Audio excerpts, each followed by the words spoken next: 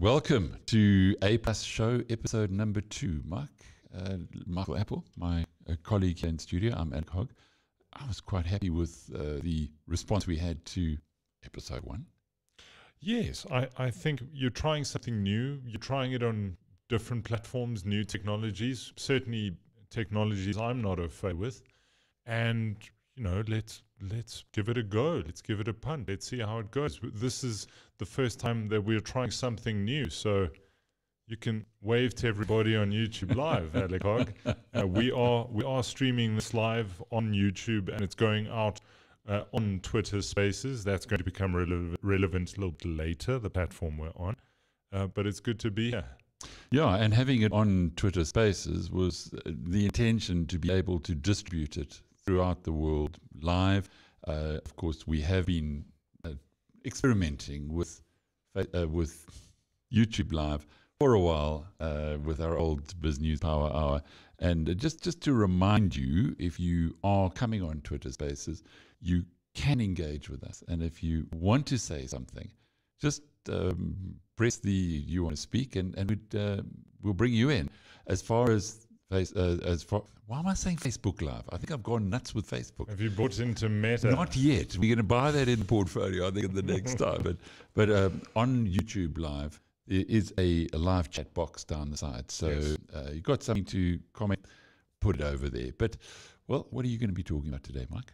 So it's going to be a nice blend as always. Uh, it's going to be looking at uh, fuel prices, the announcement that uh, shocked a lot of people that we're going to be selling our strategic oil reserves or a portion of it, a significant chunk of it. What is the Automobile Association got to say about that?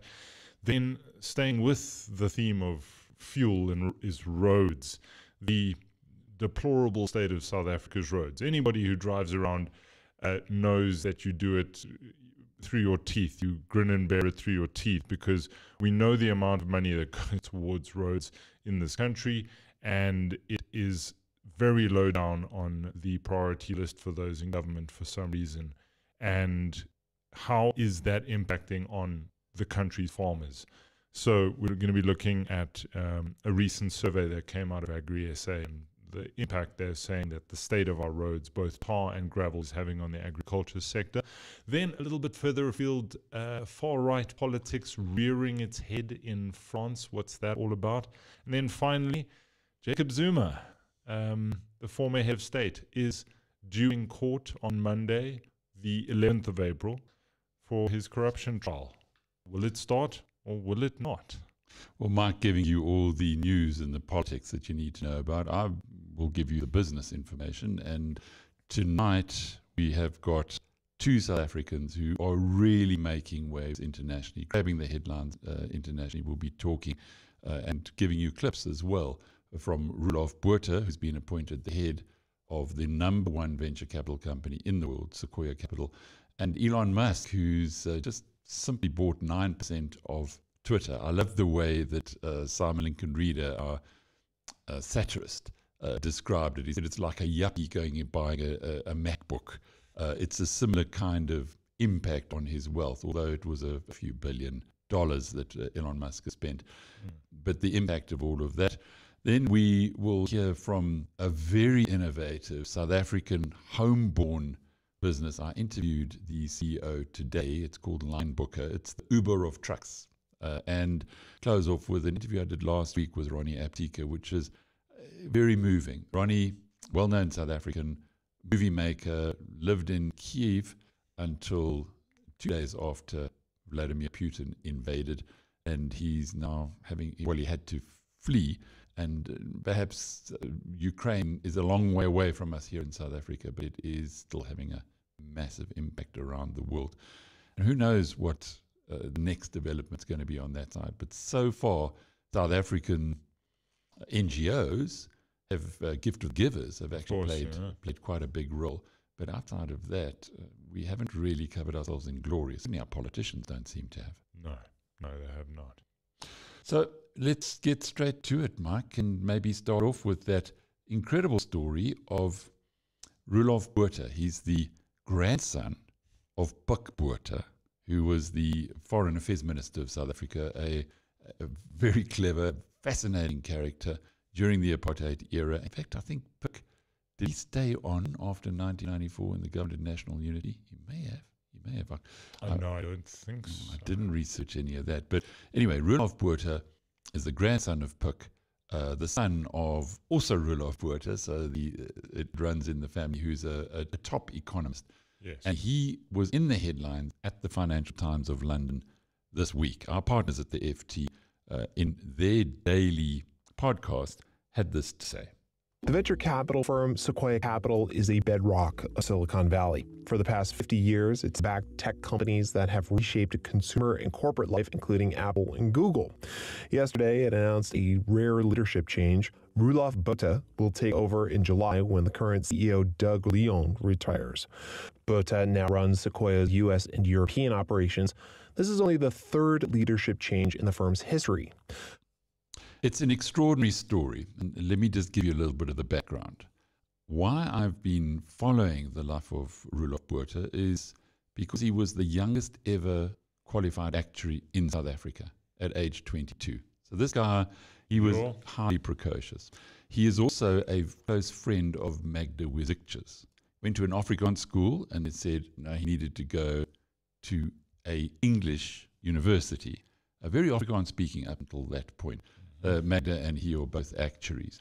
Instead of going into, actu- into the actuarial side, he decided to join McKinsey. And the, the reason for joining McKinsey at half the salary that he would have earned was that he could go into the international market. So off he goes to the United States, lands up in California, and meets Elon Musk, who asks him to join PayPal, which Elon had put together at that stage uh, Roelof Botha turns him down three times. Imagine turning Elon Musk down. Can't be that easy. And eventually, uh, the South African Rand falls out of bed yet again.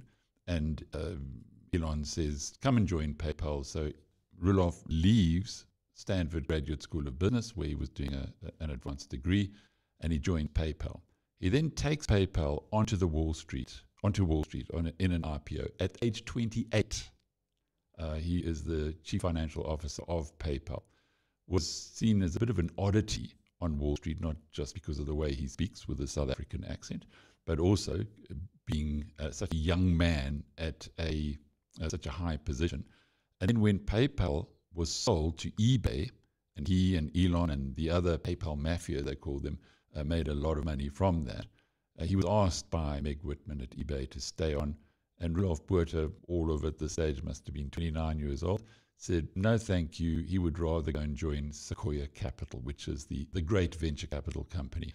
And so helped me in his first, his first big investment for them was YouTube, at which time there were three people on the companies. So he's made Sequoia Capital directly more than $10 billion in investments that he's made on behalf of the firm. He's uh, only the third leader of the firm in its 50 year history, and uh, he loves making biltong.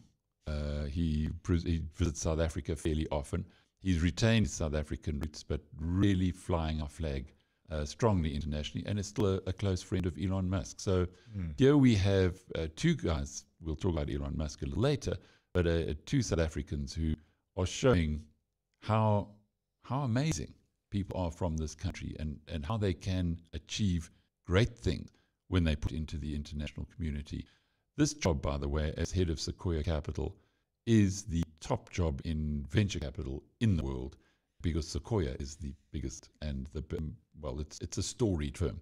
So well done to Roelof Botha, and it's a it's I'm very pleased that uh, we're kicking off our show acknowledging him this oh, week. Two fantastic exports from South Africa, these two gentlemen. You know, uh, Elon Musk and I went to the same high school at different times together. I know that sounds strange. that is my only link to Elon Musk, the Pretoria Boys High link. But yeah, incredible. Uh, good way to start off the show, Alec.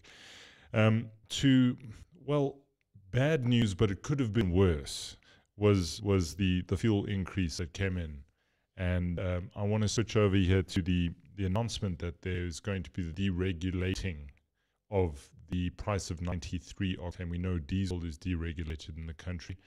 So effectively what that means is the, the government will say, here is the cap.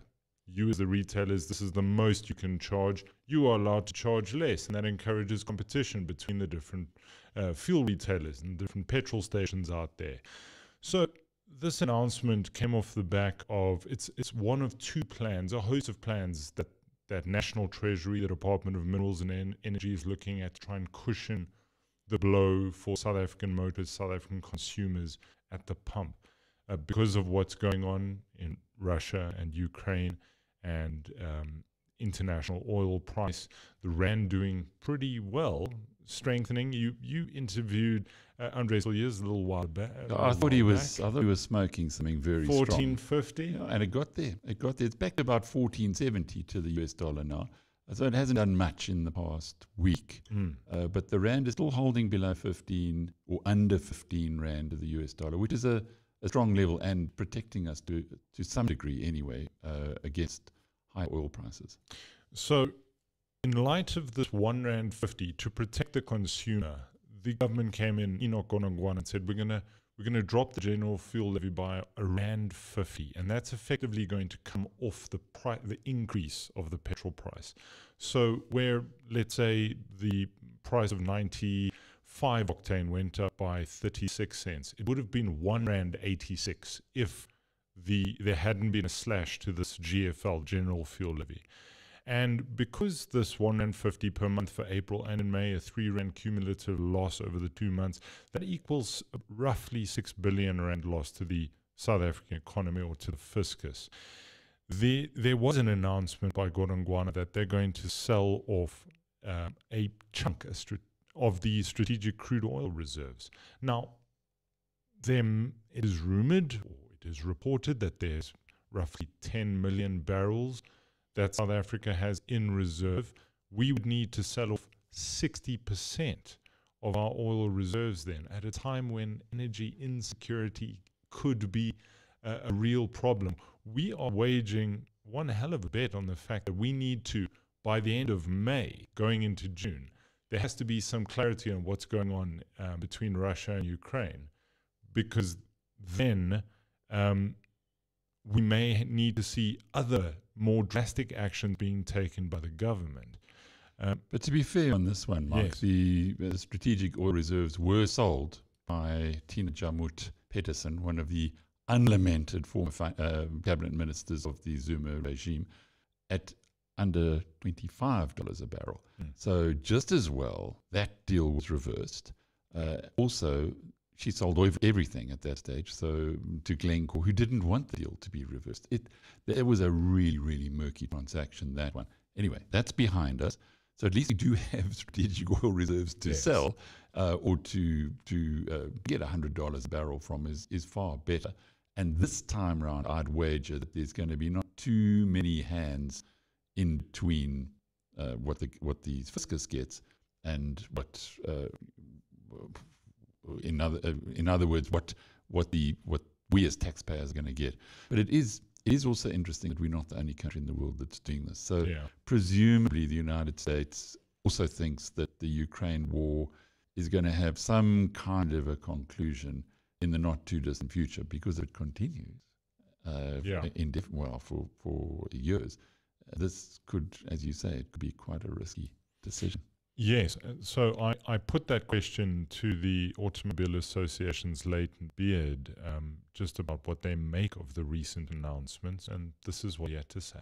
President Biden is releasing uh, strategic fuel reserves in a way to, to offset rising costs in America. In South Africa, strategic fuel reserves are being sold to cover the costs of this 150 cut to the general fuel levy. It's not sustainable. When that 150 enters the mix again, it's it's all back to you know what we used to do in the past. And that's let's have a look at what the increase or decrease is for the month ahead. And if it's an increase, it's going to be a big one because it's obviously not going to have this benefit of a 1 Rand 50 slash to the GFL.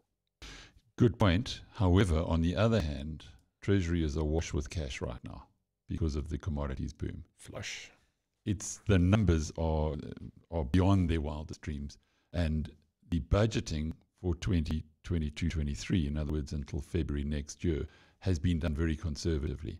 So the intention of the Treasury team, and you really got to doff your cap to these guys, was that let's not overdo it. Let's not spend Uh, first of all, they didn't spend uh, much of the bonus that came in last year from the commodity boom.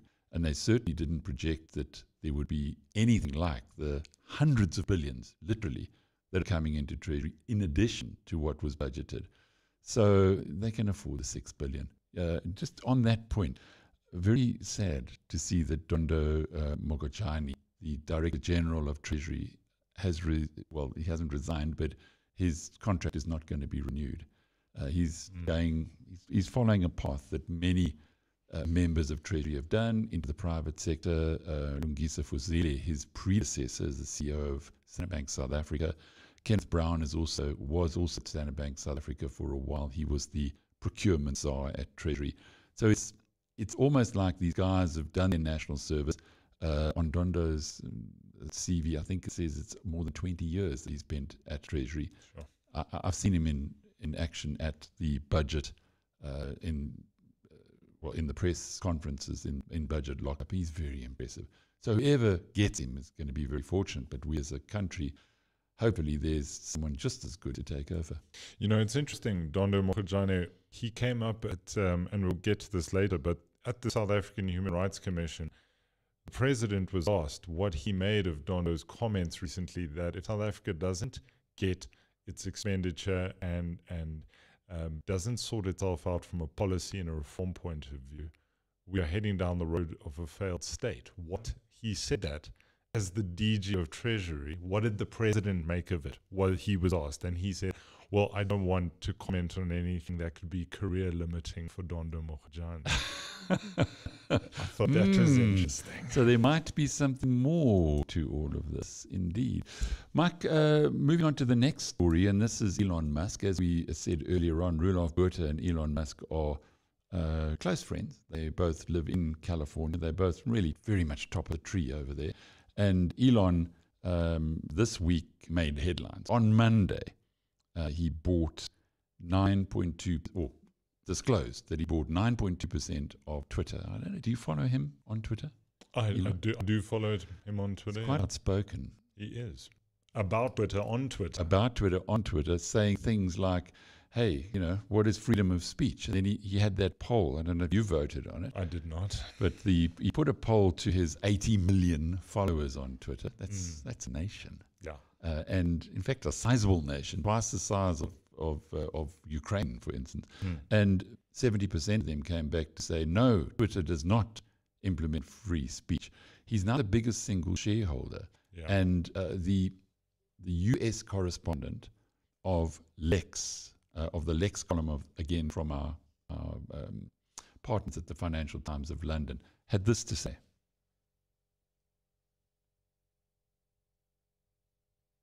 So it's unclear what he wants. Is he trying to just uh, put some of his $200 billion fortune to work? Some have even speculated he could be part of uh, perhaps a buyout group that could take Twitter private. This had been contemplated a few years ago when hedge fund Elliott uh, and Silver Lake uh, were, were agitating it's all uh, a head scratcher, but with 10% stake uh, being the largest shareholder, it's worth several billion dollars now. Um, he can definitely make himself uh, a voice uh, in the boardroom uh, if he wants, uh, in the way he has on the platform itself. So even the, the Lex column from the FT, they don't know why he's done it. Mm. is it is he going to be doing something more now, becoming a director of the company? Because on Tuesday, the board announced, the board of Twitter announced Elon is now on our board. Yeah. The only board outside of Tesla and SpaceX, his own companies that he's on. So it shows he's, he's pretty serious about this. And he's already been tweeting about how he intends helping them to improve. So um, Twitter is in the BizNews Shift portfolio. Thank goodness. Uh, it did as well as it did. It shot up through the roof. Uh, Thirty percent. Thirty percent. Just because Elon's how much there. is how much is that to the investors? Well, to our investors, uh, not much, but at least it, it gets that portfolio. It's only 5% of the portfolio, but it gets it a little closer to break even. And if you consider what we've been through uh, over the past three months since that portfolio has been launched, I think a lot of people we are breathing a sigh of relief. In fact, we went, to, went into profit slightly hmm. uh, in, in the past week, but uh, with NASDAQ all over the place. NASDAQ, incidentally, is down uh, about 2% this past week uh, the S&P 500 index down one and a quarter percent. Our JSE is up half a percent week on week, and the Geltec crypto basket is down three percent, which shows you that uh, Bitcoin was down three and three quarter percent. So those are the, the major moves in the market. But the place to have been in the past week, just about the only place to have been, would have been Twitter before Elon bought. But Elon's in there now. He's he's going to make a difference. He bought his shares, incidentally, at uh, much lower than the current share price, around anywhere between thirty-two and forty dollars a share. It's now sitting at over fifty. So he's already making quite a nice profit. It's the chutzpah of the man to to criticize the platform, state publicly he's thinking of starting up his own thing. What do you think happened there, uh, Alec? I know maybe it's an unfair question, but you you're on Twitter, you're saying you're using the very platform you're criticizing this to announce almost that you're going to start up your own similar type of platform. There must have been wheeling and dealing going on behind the scenes because um, the founder, the co-founder, Jack Dorsey said, "I've wanted him on our board for a long time now." Well, they're friends. He and Jack are friends, and Jack, you might recall, was pushed out. So Jack Dorsey has not is not completely aligned with what's happening at Twitter at the moment. One of the reasons why we put Twitter into our portfolio was because Jack Dorsey is not much of a businessman. Elon Musk is a brilliant businessman. And that's probably what Jack Dorsey is saying. we get this guy on board, he'll understand how to do the business. You, you never know. It can be, certainly from the way that I've observed businesses, it's so much cheaper to take an existing business, so much, so much better to take an existing business and improve it than to do a startup. And ask me, I've done two startups. It's tough to do a startup. And Elon, thinking of doing a, a startup in social media, would have known all along that if he could get his hands or be part of the solution of an existing social media company, it's a far, far better op- option. And that's almost certainly uh, where his mind has gone. Have you seen any trouble looming for him from a SEC, from a, Securities Exchange perspective he keeps at all? fighting with him. He actually he, he's just he's wonderful, isn't he? He's he stands up against the man, and the man is the SEC, the Securities and Exchange Commission in America. And those who believe rules is rules and you must follow the rules don't like Elon Musk. Elon Musk is a he's a rule breaker. He's a disruptor. Everything he's done is it's just that's his mind. Maybe it came from your Pretoria Boys High School. Not at all. Um, all right, Alec. Moving on to something a little closer to home that we can all relate to is the is the terrible state of South Africa's roads. Agri SA on Tuesday uh, this week had a press conference. They went to the five worst affected provinces around South Africa and said to the local farmers, um, "Give me some input. Participate in a survey. Um, has there been any impact on your produce? Bumpiness of roads. Think of eggs, think of very delicate fruits that are bound for the export market. Think of Ouma's rusks. Think of. Have you had a full box of Ouma's rusks recently? and and what has been the impact on your bottom line? So there's a profit margin of between four and a half and five percent in the agricultural industry. Very low margins, high volume. So it it comes as, as quite a burden when farmers need to invest their own money in fixing the roads that they need to travel and that their trucks need to travel on. Now, this is ludicrous that you have private money funding public infrastructure here effectively. And it was put down at an average of 200,000 Rand per farmer that, that took part in this in, in this survey. 200,000 Rand 200,000 Rand each. Used to fix the roads there are certain farmers in Harrismith that paid five million rand between five farmers, a million bucks each, to to do their little bit. And um, there is a the question was also asked how what is what is what's the cumulative total of of produce that is on the roads that we that that the South African economy owes to you and just from this 311 participants and these could be big uh, agricultural companies, all the small man. 311. In other words, just a, a drop. Just a drop in the mm. ocean. It's 7.1 billion rands worth of produce that travels um, and is transported on our crumbling infrastructure. So that is a, a potential of a, a percentage of that, I think 16% is lost because of the bad roads, because of the state of the roads and the bumpiness. And so 16% is the, the knock that they are taking on their bottom line uh, at the moment. So I It's been quite a quite a uh, press conference. This it, it was, and it was well attended, and there were several speakers, and this is something you're quite passionate about the disparity between um, those who travel uh, and, and produce and, and commodities that travel by road versus by rail. And the South African Sugarcane Association, Sugar Sugarcane Growers Association, he said that in, in KZN, 1% of sugarcane is transported by rail. And that is a shocking statistic. Well, as you know, I was in the Berg uh, this these last couple of days. Our BizNews conference is virtually fully booked, so we're looking for alternative places for our delegates to stay. Mm. And driving up and down those roads, uh, we went near, uh, and it, it sounds like you, you keep blowing smoke up the guy's backside, but uh, Christopher Pappas, uh, who's running uh, the Howick and Nottingham Road area, has done something Is because the, the Mgeni, Mgeni, is yeah, it- yes. uh, the Mgeni municipality, which is now DA uh, run. He's doing something very good there because the last time I drove on that road, I got two blowouts. My car hit a pothole, front left, back left. Uh, and one blowout's bad enough, two, Yeah. impossible. Yeah. Those potholes have gone. They've been sorted, they've been fixed. So in that little area of the, the Midlands, it is actually all sorted. Sure. On the other hand, going, getting to Champagne uh, Sports Resort, our partners there, the roads are still pretty ropey and they need a lot of support and a lot of help. One, it depends on which road you go on, but if you if you come from Johannesburg, it's a, it's there is a patch which you have to drive very slowly on.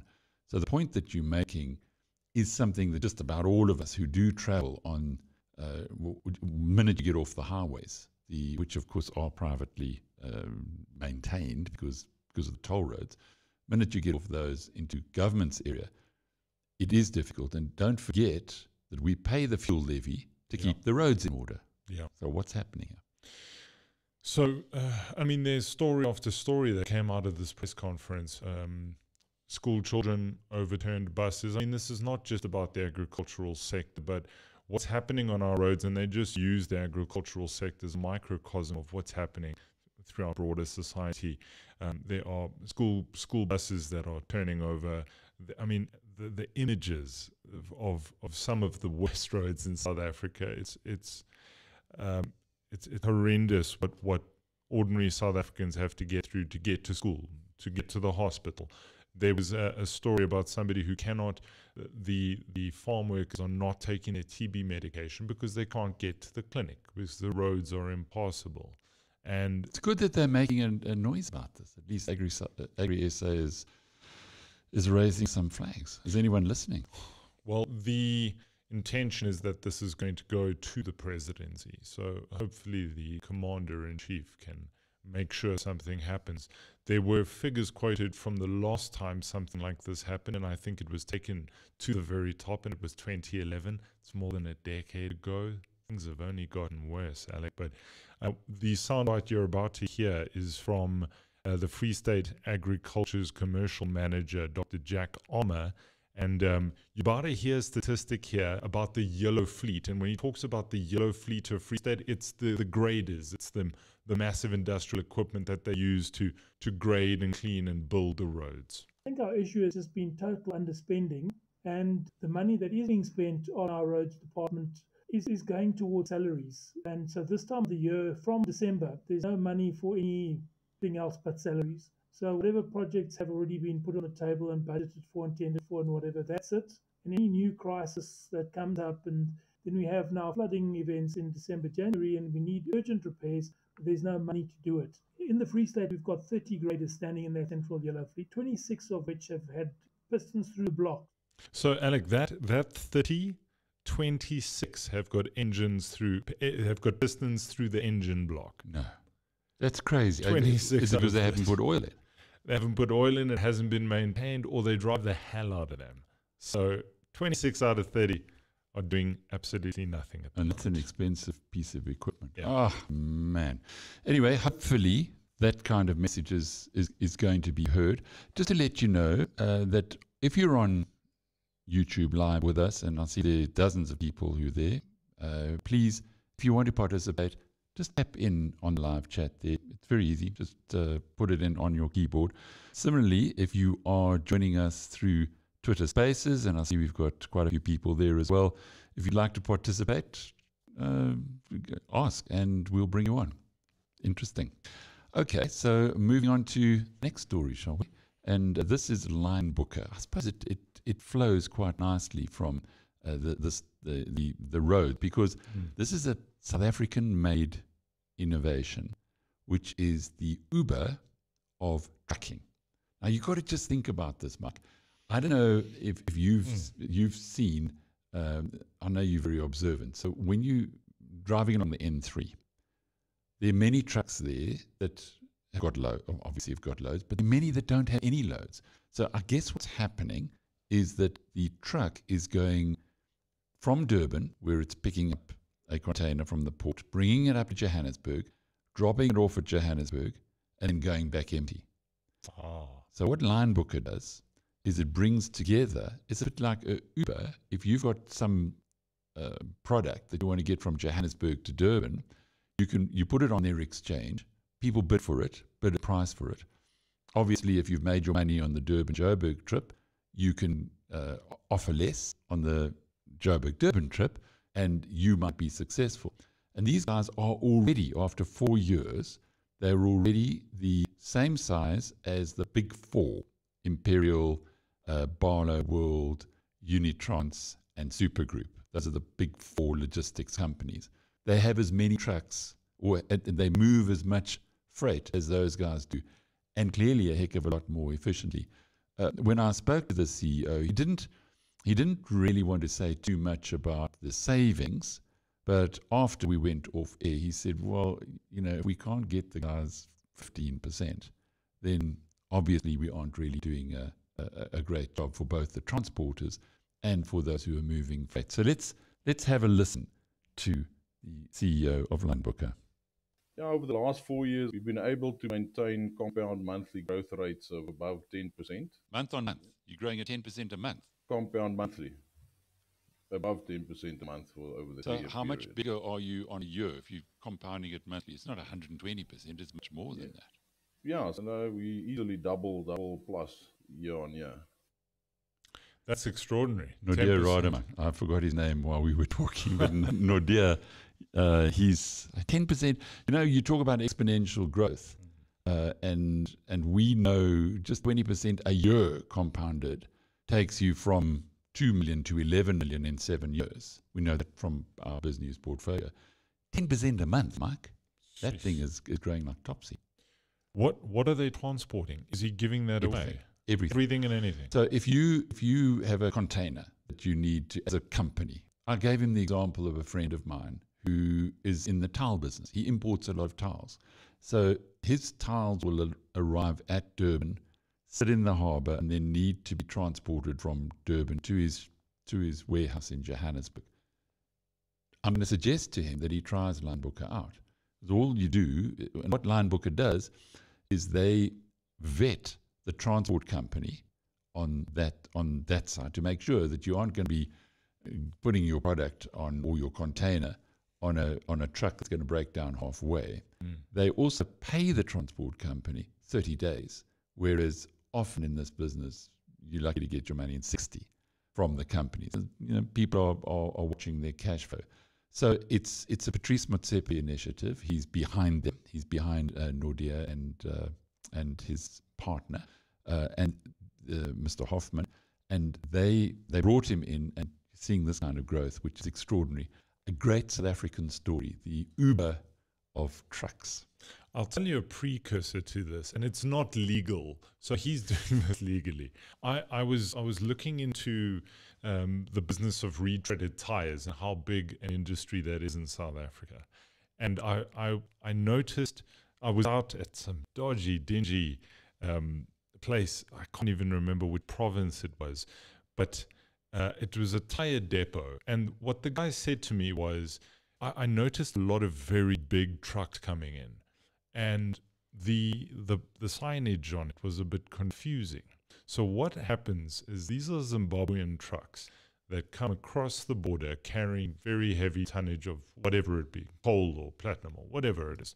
And they, they transport it to a particular place in South Africa or to Durban or Cape Town. and on their return trip, they will go past tire depots and fill up on, on tires, retreaded tires that they then go and sell in Zimbabwe, which is illegal in South Africa, but legal in Zimbabwe.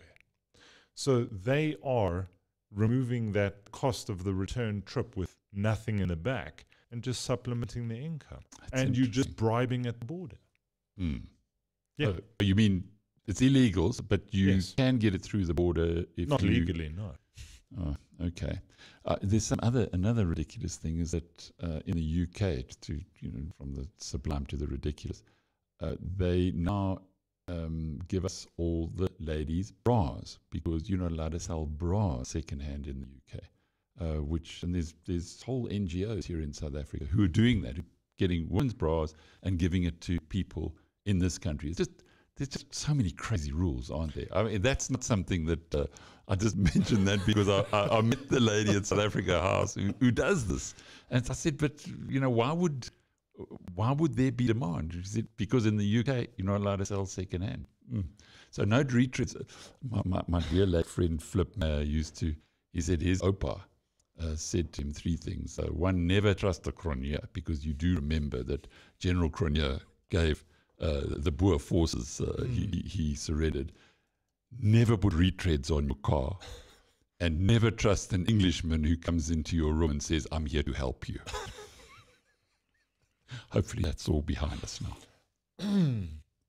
Speaking of Englishmen, or actually just next door, let's go further afield to Emmanuel Macron. He's up um, facing, is the incumbent for the upcoming presidential election in France. It's being held in a couple of days, three days, if we're on the 7th.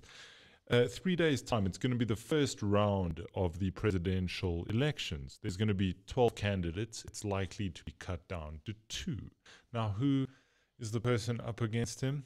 It is a rather controversial figure in politics in France, but I've heard the name before Marine Le Pen. And her party is far right. And this is, it seems, part of a growing trend um, around the world. And I'll just tell you a little bit about uh, of another far right candidate that I came across in my travels to Brazil, and that is the current president Jair Bolsonaro. He was up against a guy from the far left called Fernando Haddad.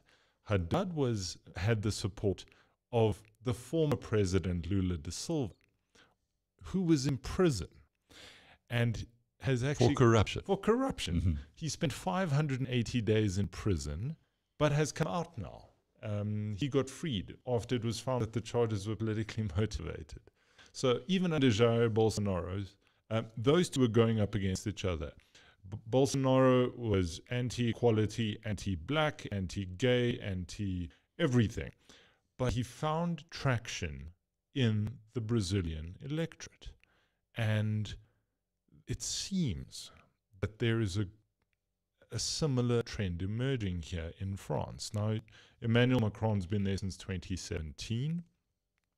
He has spent a- lot of his time recently, at least, playing international broker. He spent time at the Kremlin trying to talk Vladimir Putin down.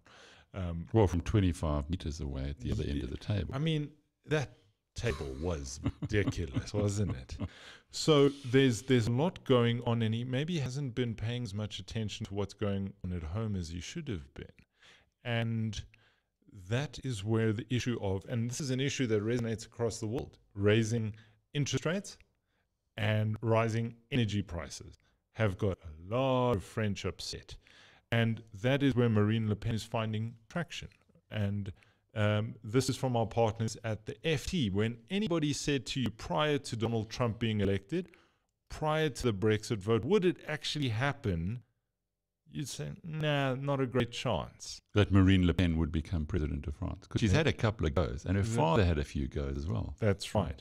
So this is from the FT. Pen is doing well in the polls, but you know she probably won't win. Almost certainly won't win. Which reminds me of what people were saying before Trump was elected. that Hillary was certain to win. Of what people were saying before the Brexit referendum, and in both those cases that was not true. And both those things, Trump, Brexit, were huge political moments, kind of revolutions in the West. How much of a revolution would it be for France and for Europe if Le Pen won? It would be a massive uh, moment. You know, the second largest economy in the Eurozone, electing a far right president, clearly Eurosceptic, against a lot of what the EU stands for. So she's a nationalist. She is conservative, far right conservative. Emmanuel Macron is considered uh, is considered centre right, and she is far right. But she she has a lot of ideas about about nationalism. She's not very friendly with NATO, not very friendly with the EU. So it would be a complete change in policy for France, where it is at the moment, second biggest economy in uh, in in Europe, in, in the European Union, and certainly the the biggest military presence uh, as part of NATO um, in coming out of Europe. And uh, Marine Le Pen may have very different views on that. So the first runoff is April the 10th, second is April the 24th. And then they, they elect the new president, can be sworn in by no later than the 13th of May. So we may be saying bonjour, President Marine Le Pen, in a in a month's time or so. I've got good friends, good French friends. In fact, we saw them over the weekend, and their reading of it from the ground is that it's all about immigrants. Yes. And that's where Marine Le Pen is getting a lot of traction. Uh, that she's a little bit like here in South Africa. And we're going to talk about that, uh, I think, a little bit later. We spoke about it last week xenophobia uh, and, and how uh, Nhlanhla Lux Dlamini, or what's his surname? Mohlauli. Motlali, which is the right surname, by the way. What, uh, Mohlauli. That's, It what, that, that's, what's, that's what's on He calls himself Dlamini. Yeah. Maybe it's his mom's name. Yeah, it might be. You know, he's out on bail, thousand five hundred bucks. He popped up yesterday or the day before in Diepsloot, where somebody was killed overnight. There have been marauding bands of people going around demanding, "Show me your passport! Show me your passport!" And the guy couldn't produce a passport, they killed him. This happened in Diepsloot last night. Xenophobia, sure. Just to go to our uh, YouTube live channel, we've got a couple of, of comments here, Mike. Uh, Blake Willingdale says, more like empty legs as used in private jet charter. This is when they have to turn around. Uh, I think he's talking about Linebooker. And uh, Dirk van der Walt uh, from We Buy Cars, uh, and who was at our, our conference. Yes. Lovely to have you with us, Dirk. He says, I hope that Linebooker will create jobs uh, that will help individual driver owners co- uh, to start and operate their own businesses.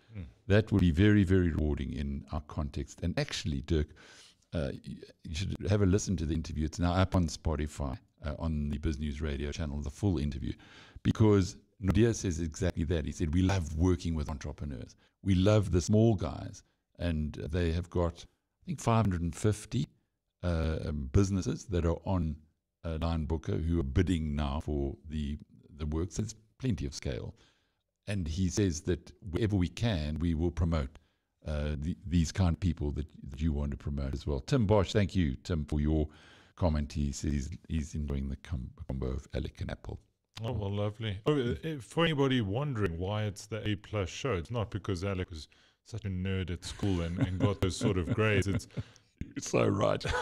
it's literally Alec and Appel. We thought that would make a decent combination. Yeah. and and A plus is, is Yeah. quite a good thing. I mean, uh, did you ever get an A plus at school? Were you one of those smart Uh, guys? No, no. No. I got two two A's in matric, but Wow. but uh, yes, Well, I'm impressed. Really impressed. Mike. that's about it. Don't ask him which subjects. that's what's more important. okay, well, let's get on to my next or my last contribution today. And this was an interview that I did last Friday uh, with Ronnie Apteker. He is uh, an old friend. Uh, in in the, the mid 90s, I was exposed to the internet. And the the internet here in South Africa was, was one of those things that took a little while to get going primarily because Telkom controlled all of the bandwidth. And Telkom's stated policies. it's not, it's not something that you're talking about after the fact, was to trickle out the bandwidth and charge huge prices for it so that they could make more profit. And that's the way they played it. And every time that the government had ideas of deregulating, Telkom stopped them deregulating, or they would take them to court and fight them, as actually has happened to a large degree with the, with the spectrum. So it's a dirty area, telecoms in South Africa. Ronnie Apteker, his brother Alon, and David Frankel, uh, who's now one of the top names, almost a, a, a Roelof Botha type of figure in New York, though, in private equity. So it's amazing what South Africans are doing well. Just you Google him, David Frankel. He's, he's done uh, hugely well with a company called Founders. Ronnie, uh, and and he was the creative one, and his brother and David were more the business one, and they started Internet uh, Solutions, mm. which today is owned by well, it was it was bought by Dimension Data, which is then bought by NTT, the big Japanese giant. They own MWeb, iAfrica, many of those email addresses, pretty much all of them, sit in this one company that Ronnie Apteker started. And over over the years, we've kept in touch because what Ronnie did was when being the creator one, when he left the corporate world, he started making movies, and he made a, fantastic movie called Material and Material Two. Uh, Moosa, the oh, yes. comedian. I've watched that, yes. Because that's Ronnie. You know, he's just a funny guy. I mean, if he was sitting here with us, it doesn't matter what he's going through, he, he always finds a joke, he always finds a laugh. He's just that kind of a person. Mike, he's been telling me for 15 years about the about Ukraine. He says it's not the not Ukraine. the Ukraine. Ukraine. And Ronnie's appeal initially was they're the most beautiful woman in the world, he said to me. So, and every time I see him, I'd say, Hey, Ron, you married yet? No, no, no. Ah, go to Ukraine. They're the most beautiful woman in the world. And the best techies in Europe. So you've got this combination, unique combination for a, a computer nerd, as he calls himself, who wants to make movies and quite likes the company of the of the other sex, so or the fairer sex. And of course, he met and married a Ukrainian lady. They've got a baby, and for the last eight years, they've been living in Kyiv until uh, they aren't living in Kyiv anymore. Yeah. Uh, so he's got an incredibly good insight into what it's like, what Ukraine is like, what it, the people are like what he was there for the the revolution of dignity, if you recall, when they they ejected a a, a, a dictator who was aligned with Putin. Yes, and that was after the dictator actually put snipers up there to shoot 100 people yeah. uh, who were protesting against him. And there's a um, there is a memorial to the martyrs. So there's a there's a heck of a story in Ukraine that people in South Africa don't know. But I thought what a great opportunity to talk to Ron. We've been republishing some of the stuff from his blog, yeah. and we did that last Friday. It was a it was a really moving interview, and I'll just give you just a small snippet of what happened when he left his home in Kyiv. I'll never forget the details. It was like four days, literally, of not sleeping in a car. The journey out of Kyiv was it, it was scary. Like we were on this highway it was four lanes in each direction, but on the, the incoming lanes, there was no rules. Everyone just drove. Lots of accidents. Petrol stations with queues around the block. On the one or two lanes that were incoming, there were tanks and military vehicles, and everyone was like hooting in, in support of Ukrainians. But it hadn't hit yet. It hadn't hit yet the extent. We hadn't seen Mariupol flattened and Kharkiv destroyed. And if you are interested in Ukraine and want to know a little bit about the, dare I say, real story, the from the ground story, it's on the BizNews channel on YouTube. Go and watch it. It's uh, it's it's very moving.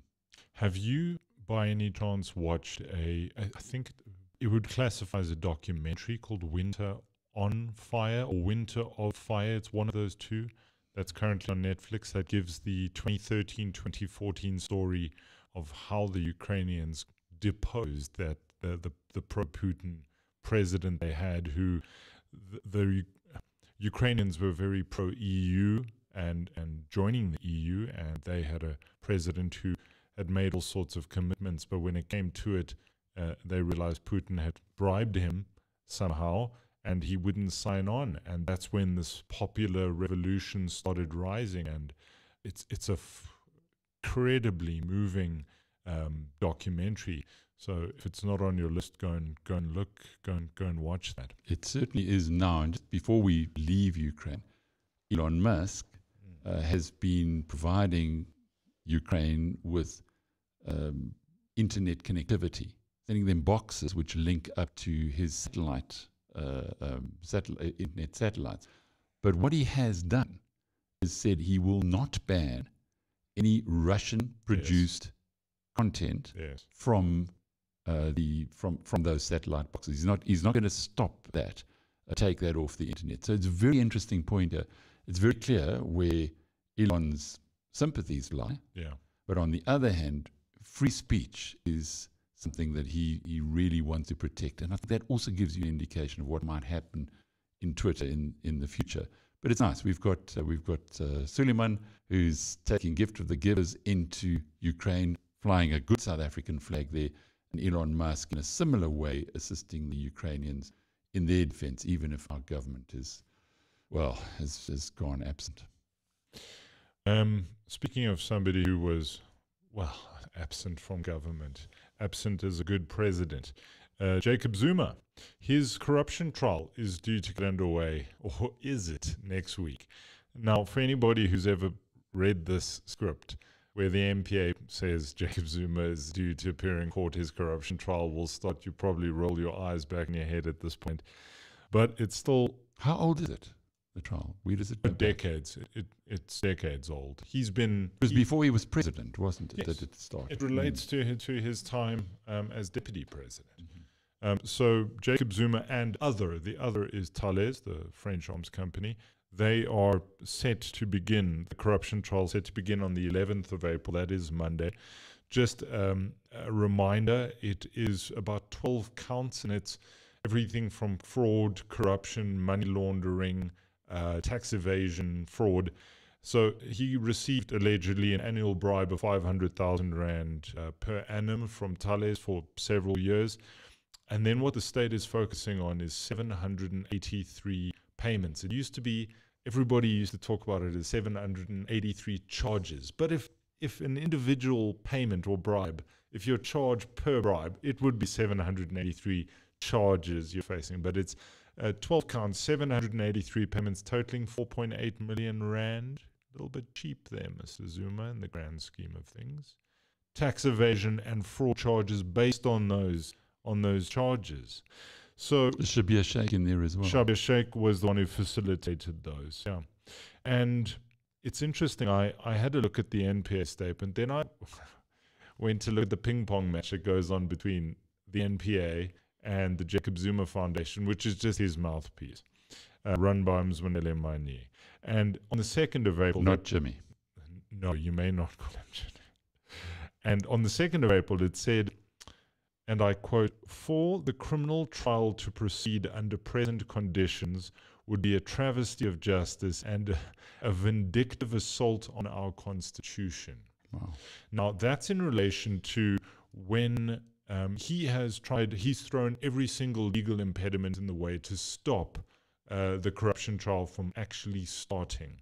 So he launched um, an application to challenge the title of of Billy Downer as the prosecutors say you do not have the title to prosecute me neither does the national prosecuting authority. You've lost that right because you've been delaying me justice for so long. All of those delays are of his own making he he didn't win on that the the judge said no actually Billy Downer may prosecute you Is this the Stalingrad strategy? Yes, he puts the soul in Stalingrad. Okay, you see the, the jump there. But he he then, um, after Billy Downer's uh, application to have rem- removed as a prosecutor failed, he then lodged several applications with the Supreme Court of Appeal, several, and all of them failed. So how it works is you lodge an appeal with the the trial court and say, um, I'd like to appeal against your judgment, and the judge they can go, sure, another court will reach a, a, similar or a different decision. You can go ahead. Goes up one rung to the SCA, and the SCA says, no, we're not going to enter- entertain your application. And they do that for everybody and anybody. Now, Jacob Zuma is saying, we are going to approach the president of the Supreme Court of Appeal to to say no you must reconsider. Now it doesn't work like that and it's never ever worked like that. He wants equality before the law but he bemoans when he isn't treated specially.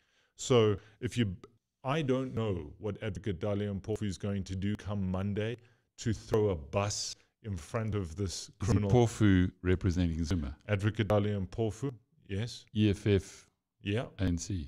yes that's correct. It's often Strange been bedfellows. often been questioned how and uh, somebody who was the national chair of the economic freedom fighters and for years chanted Zuma must go and Zuma must pay back the money. It just shows maybe he's such an absolute professional that he can separate his political self from his from his professional self as an advocate. Uh, I still want to know how Advocate Dalian Mpofu is getting paid. Um, anyway, this trial is set to get underway on Monday, but do not hold your breath. If we know anything about Jacob Zuma, it's that the next legal impediment is loading. And let's close off on politics as well. That's right. There is one more soundbite to come, Alec, and it is we spoke about him um, last week. There's an image of him if you're looking on YouTube. This is the South African Human Rights Commission that invited him in. Um, they were looking Our at- president, we're talking about. Yes, Cyril Ramaphosa was invited in to testify about what he knew, what he didn't know, some of his decisions taken as head of state and commander in chief during last year's riots. And we've spoken about um, a report that came out of the South African, South African Human Rights Commission saying that ultimately um, we can blame intelligence, we can blame the police, we can blame whoever, the instigators, of course, all of whom are still out there and we're not sure where they are.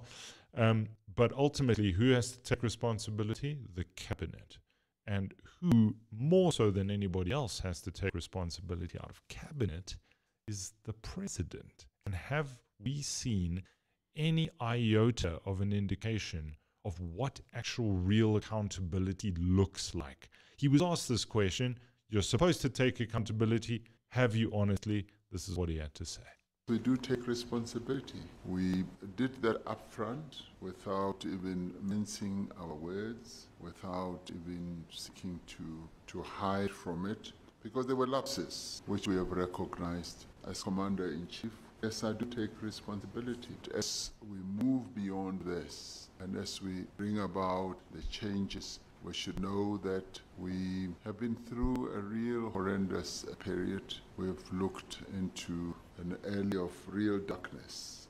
You know, Alec, I just want to say one thing. There was there was one of the commissioners who who made the distinction that in 1960, during the Sharpeville massacre, there were 69 people killed. There were 353, 354, possibly even more people killed during the July riots. Now we call we have Human Rights Day on the 21st of March. Human Rights Day. It's the Sharpeville massacre that is commemorated.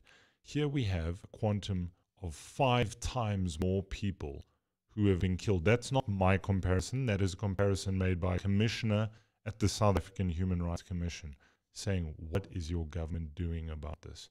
Well, you heard him there. They're taking responsibility. Michael Appel, Alec Hogg, we'll be back with you at 5, live at 5 every Thursday. Thanks for being with us on Twitter Spaces and on uh, YouTube Live. Uh, thanks for all the um, conversations and the and the inputs. I see, just to close off with Dirk came back again. He said Steven He, uh, who's a YouTube influencer on academic scores, says that Asians get A's uh, because they're not Bayesians. And he says A is for average, but we are A freakins, not B freakins. We go for gold. Thank you, Dirk. Thanks everybody for being with us. Uh, Mike, as always, uh, we'll be back same time, same place next week. Thanks, Alec. Thanks.